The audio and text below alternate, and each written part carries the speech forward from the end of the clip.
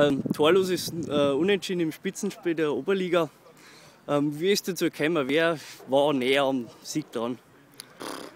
Schwer zum Sagen. Also ich denke, dass äh, wir einen Tick größere Chancen plus gehabt haben. Äh, gut, die zwei Kipper haben einen, einen, sehr guten Tag erwischt. Die haben richtig gute Chancen vereitelt oder, oder rausgeholt.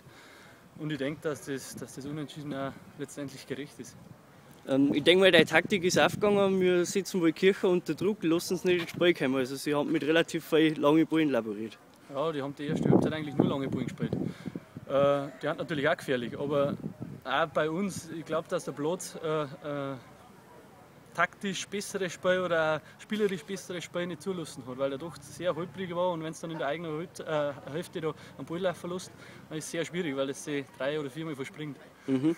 Ähm, du hast schon die guten Torhüterleistungen angesprochen. Ähm, war es eher euer Unvermögen, dass ihr kein Tor geschossen habt oder die gegnerische Torwartleistung? Ja, beides. Die gegnerische Torwartleistung war überragend und äh, wir haben einfach die Dinger nicht gemacht. Also zwei, drei richtig gute Chancen die, die wir nicht gemacht haben, dann ein Elfmeter, wo ich glaube, das war ganz klar, den wo uns nicht gibt.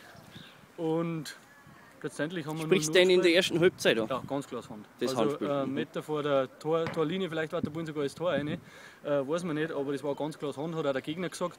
Und das ist natürlich schon bitter, weil ich glaube, das haben die Zuschauer, das hat jeder da auf dem Fußballplatz gesehen, außer der Schiedsrichter.